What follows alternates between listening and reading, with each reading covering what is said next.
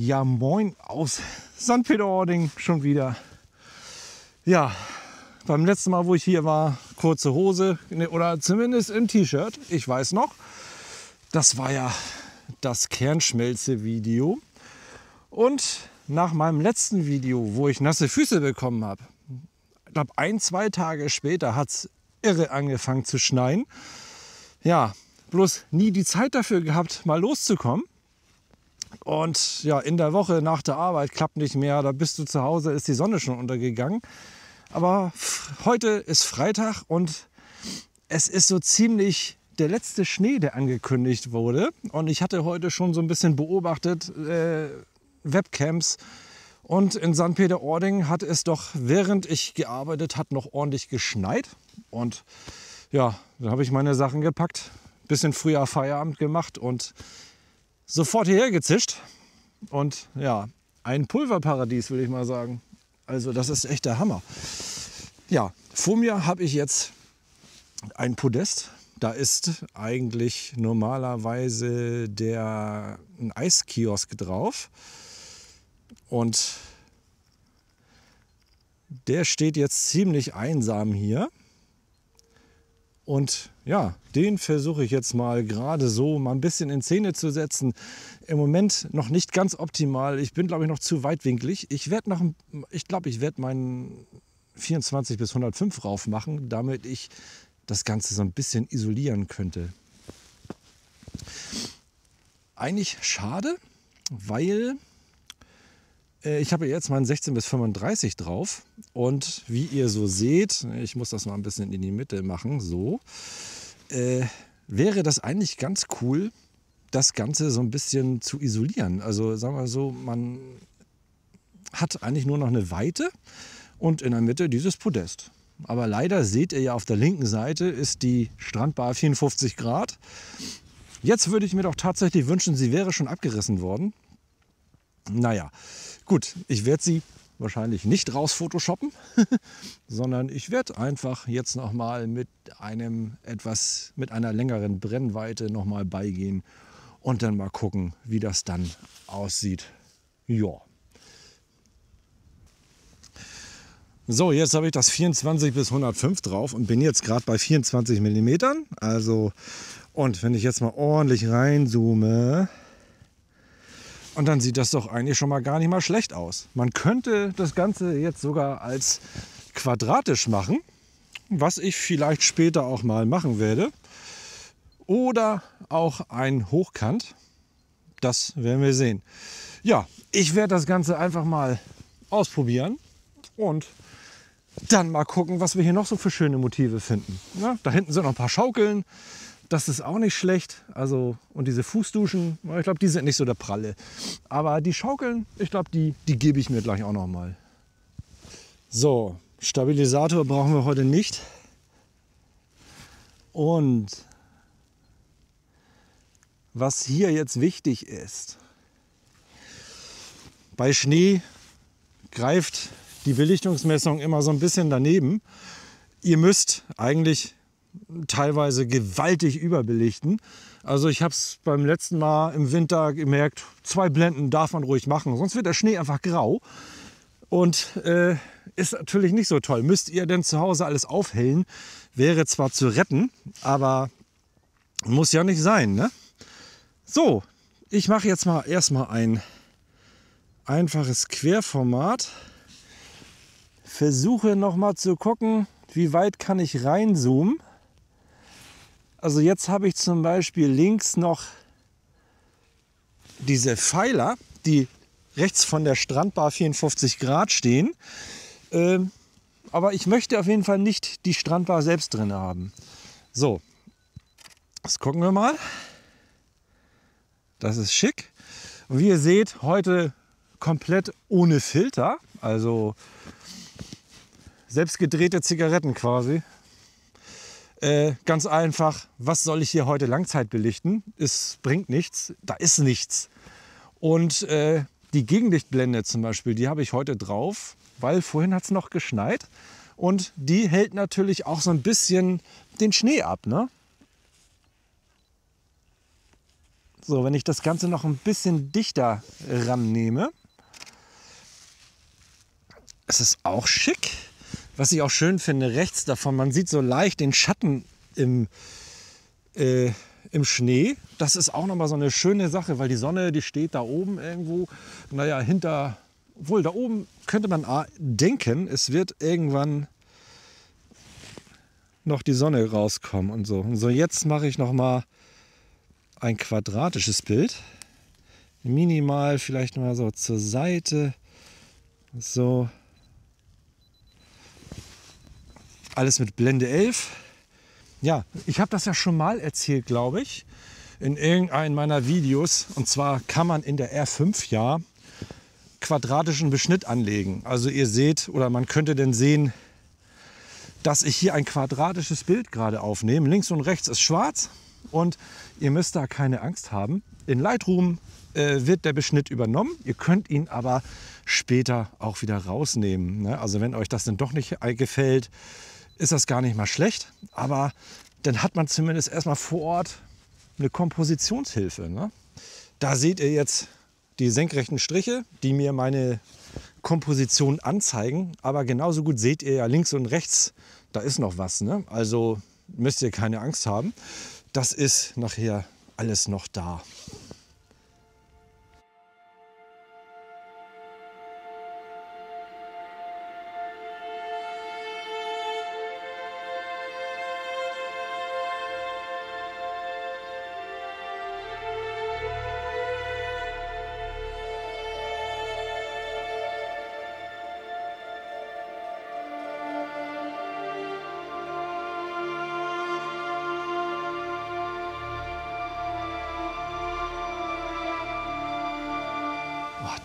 Richtig geiles Wetter. Also ich muss ja sagen, also ich, ich bin eigentlich nicht so häufig im Schnee unterwegs, aber das ist, das ist Granate. Ich gehe jetzt mal zu den Schaukeln. Mal sehen, was das wird.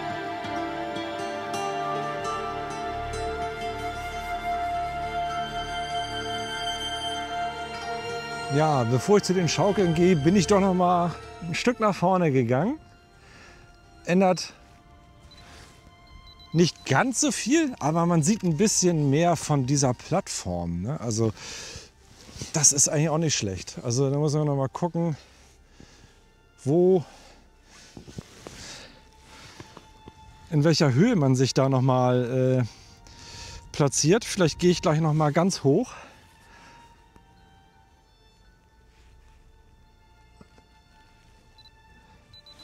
Auf jeden Fall ich habe vor ein paar Jahren, da war ich mit Silvia, also die Silvia, mit der ich letztes Jahr den, die Kernschmelze gemacht habe. Da haben wir da hinten einen Imbiss gemacht, fotografiert, so, ein Eis, äh, so eine Eisdiele. Stand Ice Point drauf, das war richtig geil, schönes Wortspiel, Ice Point, SPO, ne? also St. Peter-Ording, das war richtig cool. Und sie sagte immer, nur mach doch mal dein Bild fertig. Und irgendwie habe ich es mir öfters angeguckt und irgendwie sagte ich, nee, ich finde da nichts, was ich da dran machen kann. Äh, das ist jetzt quasi mein Ersatz dafür. Das, das toppt's. Das ist cool. Also, ich werde nachher einen ganzen Haufen Bilder da, äh, davon mitbringen, das ist ganz klar. Aber welches,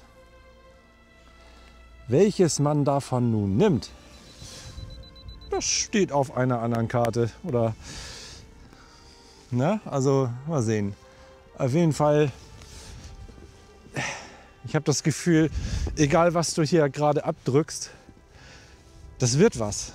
Ne, das ist so ein Effekt, als wenn du das erste Mal oder ob du auf Island wärst oder auf den Lofoten, weil das ist so ungewöhnlich. Ne? Also was, warum findet man die Bilder, die man so von Island sieht, so toll? Weil das für den Deutschen total ungewöhnlich ist. Und das hier, gut, Schnee ist eigentlich nicht unbedingt ungewöhnlich.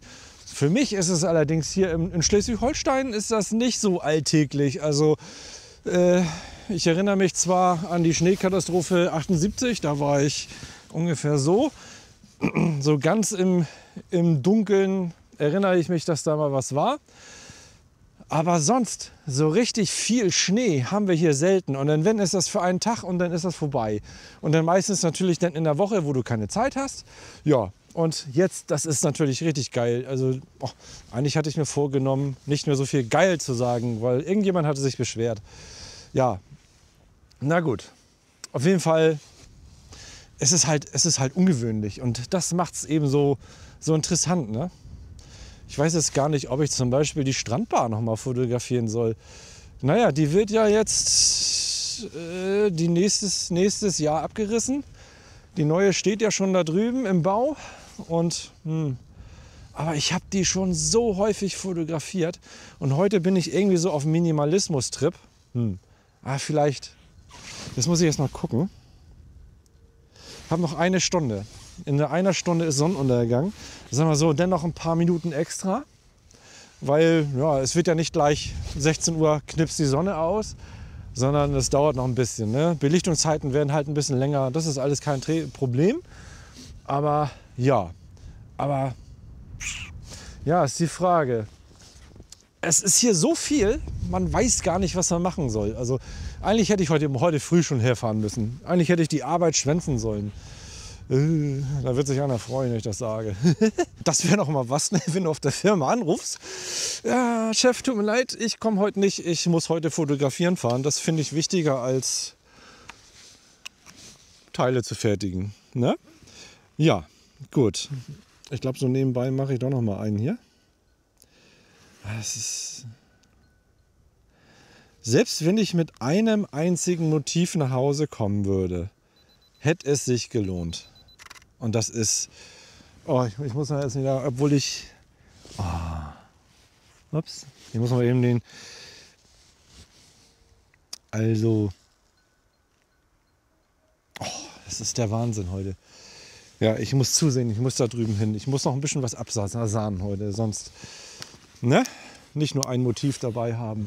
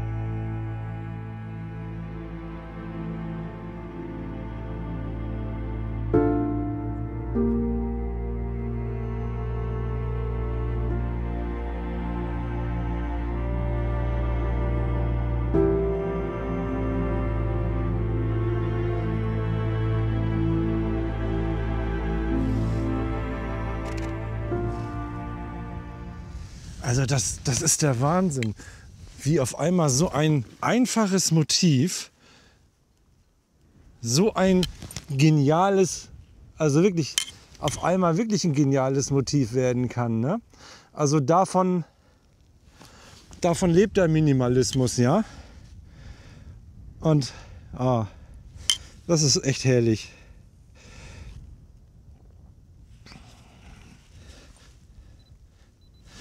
Also ich hätte mir ja gewünscht, ich hätte vielleicht, ja gut, aber so viel Zeit hat man einfach nicht, äh, weiter da hinten raus und irgendwann ist ja quasi das alles vorbei.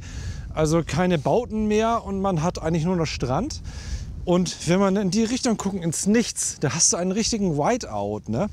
Hatte ich vorgestern auch, als ich von der Arbeit gefahren bin, habe schon diese Schneelandschaft gesehen und ich dachte, oh Mensch, hätte ich meine Kamera mit.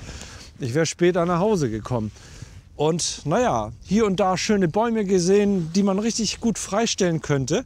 Und es gab auch Stellen, da hast du nichts gesehen. Also wenn man in eine Richtung guckt, du kannst den Schnee nicht erkennen, also den Schnee und den Himmel nicht mehr auseinanderhalten. Und das ist natürlich absolut irre. Ja, hier ist jetzt natürlich so eine schöne Grenze, also zwischen Himmel und, äh, Schnee und ich versuche, aber eigentlich sieht das gar nicht mal schlecht aus. Also eigentlich ist ja die Grenze zwischen Himmel und Schnee, die, die läuft eigentlich auch genauso durchs Motiv durch. Eigentlich kann man da nicht meckern. Ne?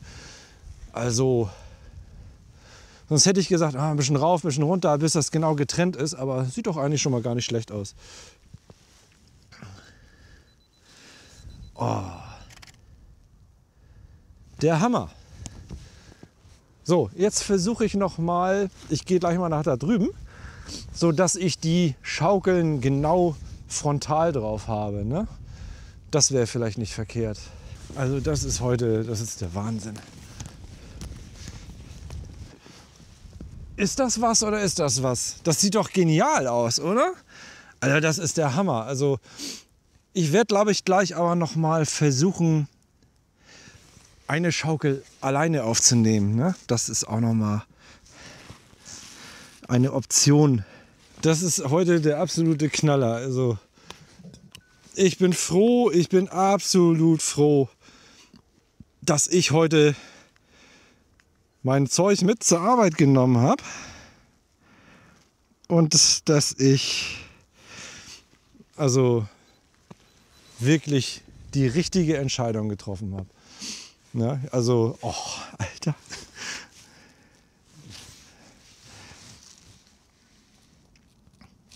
Egal, was du hier fotografierst, das sieht absolut genial aus. Also eben dieses, ah, weil das so befremdlich ist. Ne? Also, oh, das ist so krass. Also ich bin jetzt bei 24 mm, beziehungsweise das sind 24. Und selbst das, also wenn man das so schön äh, vielleicht sogar noch ins Panorama schneidet. Oh.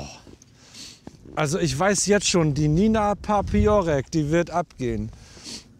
Hoffe ich doch mal. Nicht, dass ich mir jetzt zu viel verspreche, weil dies echt die Königin des Minimalismus, also muss ich mal sagen. Und Nina, du wolltest dich doch schon immer mal mit mir treffen, ne?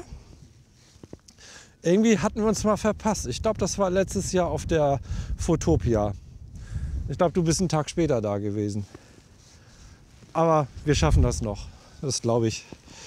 Oh Mann, ja. Okay, jetzt noch mal eine, eine Schaukel alleine. Also ich habe eben einmal ausgelöst, leider mit, mit zwei Sekunden Timer. Und da sind die beiden Personen genau das Bild gelaufen.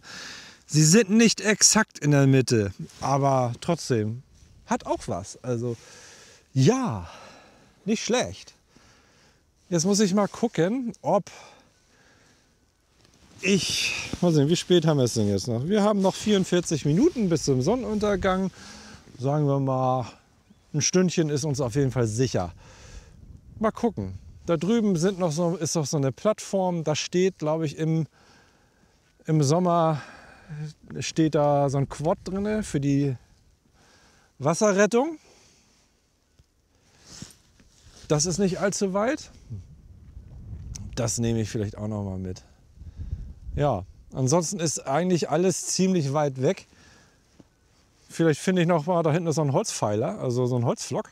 Selbst wenn man den aufnimmt. Also einfach nur ein, ein schnöder Holzflock. Aber das sieht so krass aus, da geht der eine ab. Ja, gut. So, jetzt möchte ich noch mal eine Schaukel alleine, aber eben so ein bisschen perspektivisch. Also aufpassen, dass ich das Bein von der anderen Schaukel nicht mit drin habe. So, Wasserwaage ist alles gerade. Bumm.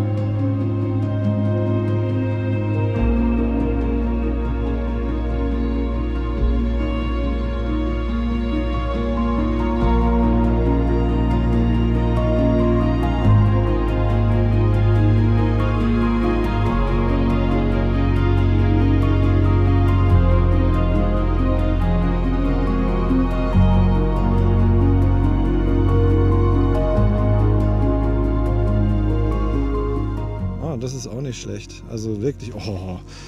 Also ich glaube, wenn ich das ins extremste Panorama ziehe, wird das, wird das brutal. Also hast du eigentlich nur einen Strich in der Landschaft. das ist cool. Also, und ich glaube, heute werde ich in diesem Video mit dem Color Grading auch überhaupt keine Probleme haben. Also als hätte ich irgendwie Probleme mittlerweile. Also mit der A6700, die Farben sind ja wirklich, wirklich gut. Aber ich könnte fast ein Schwarz-Weiß-Video draus machen. Weil mehr ist hier nicht. Also der einzige Farbklecks ist doch eigentlich mein Rucksack ne? oder meine Hautfarbe. Aber äh, also wirklich, das ist fast, fast schwarz-weiß. Cool. Den Flock mal in die Mitte nehmen. Horizont in die Mitte. Also, naja, ich weiß ja nicht. 24 mm. Blende 13 und gib ihn. Ich habe eben einen kleinen Fleck auf dem Sensor, sehe ich gerade. Also irgend so ein Wasserfleck. Möglicherweise ist der vorhin vom, vom Objektivwechseln raufgekommen. Also mal sehen.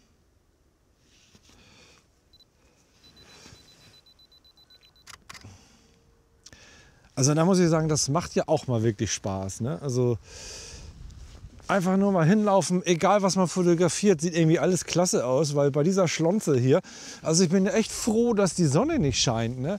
Vorhin sah es einmal so aus, als wenn die Sonne rauskommen würde, aber jetzt ist das wieder eine graue Pampe. Das ist so richtig genau der Rotz, den ich haben möchte. Ne? Also genau das Feinartwetter, was man so braucht.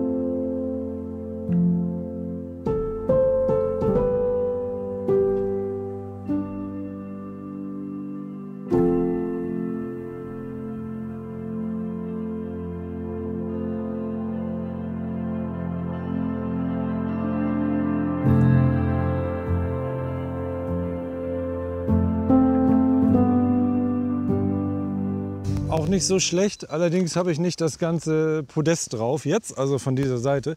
Ich werde es aber gleich noch mal von der Seite aufnehmen. Das war jetzt eigentlich nur mal so, aber vielleicht noch mal so ein Blick nach da. Das Podest kommt einfach aus der Seite, aus dem Bild raus und ich denke mal, das könnte man mal testen.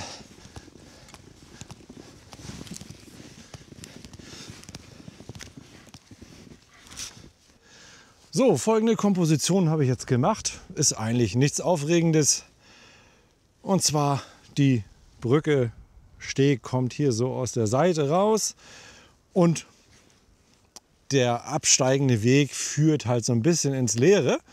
Ja, finde ich eigentlich nicht schlecht. Was ich so richtig toll finde hier, ne, guckt mal, diese schönen Schatten in dem, im Schnee. Dieser unberührte Schnee, ist noch kein Hund durchgelaufen, kein gar nichts. Das ist ja, das ist, das ist herrlich. Das ist genau das, was ich will. Also super. Ja, das Ganze Blende 13, eine Fünftel Sekunde, Bums.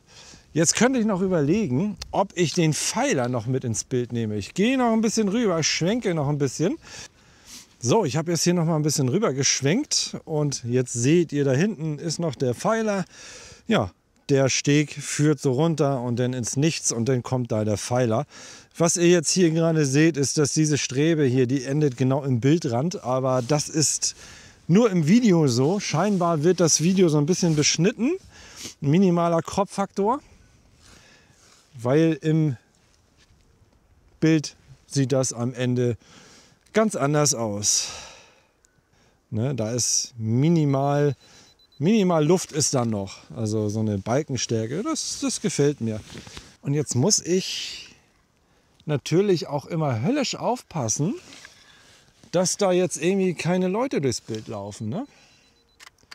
Jetzt habe ich da hinten genau am Bildrand gerade eine Frau. Ich vermute eine Frau, die macht ein Foto. Naja, aber Gott, die kriege ich noch rausgestempelt.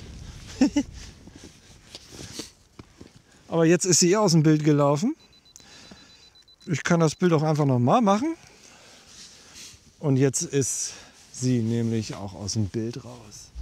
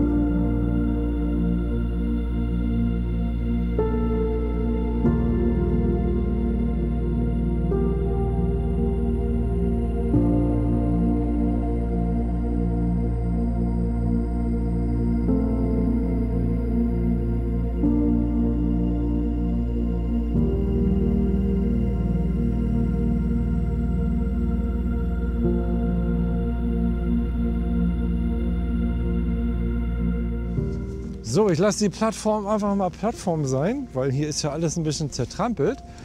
Und ihr seht es sicherlich schon im Hintergrund. Ganz, ganz viele Holzflöcke. Und ich glaube, die nehme ich mir jetzt doch noch mal vor.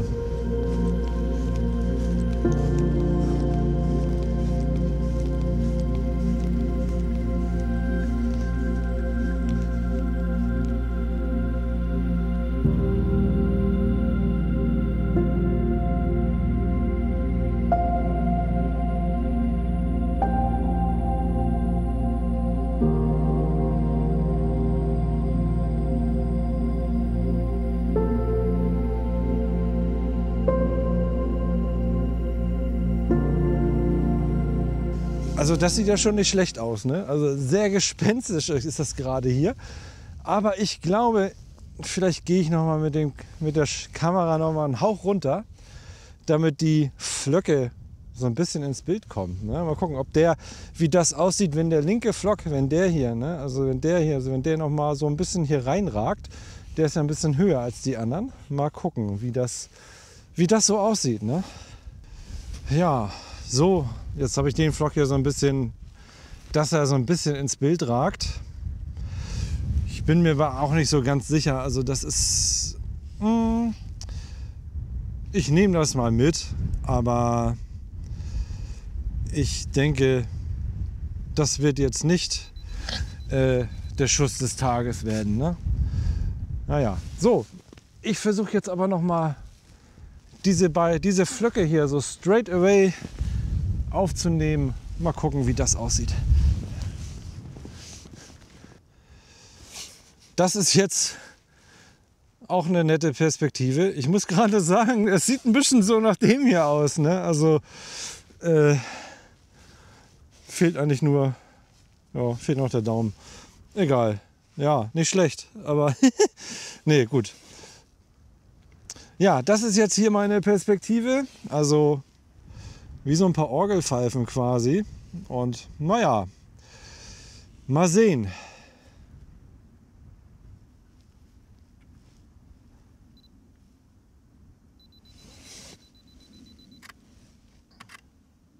Jo.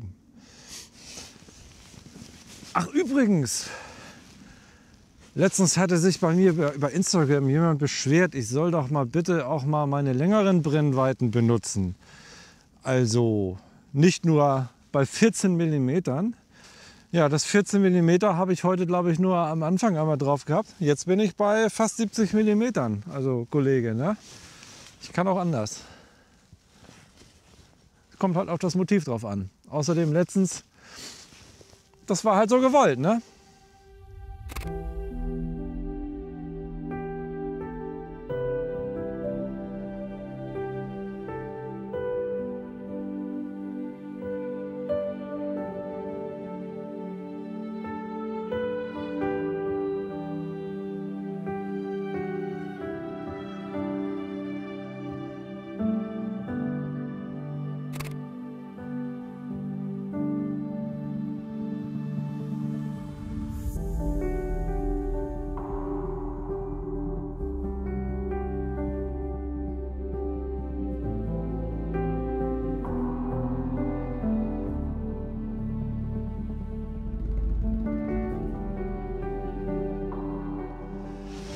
So, die Sonne ist jetzt vor gut zehn Minuten untergegangen und ich denke mal, ich habe hier gut abgesahnt heute.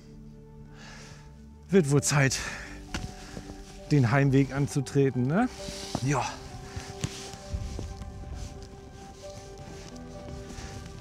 So, heute habe ich auch extrem viel gefilmt. Also Hut ab. Also ich glaube, das wird ein langes Video heute. Der Akku von der A6700 ist auch nur noch bei 15 Prozent. Also ich habe gut gefilmt heute. Na gut, es liegt aber auch daran, es ist ja heute ein bisschen kälter. Da verbraucht sich so ein Akku natürlich auch schneller. Ne? So ist es ja. Das ist einfach so. Ja, Gut, wenn euch das Video gefallen hat, ne, das übliche, ne, liken, abonnieren, falls ihr mir noch nicht abonniert habt.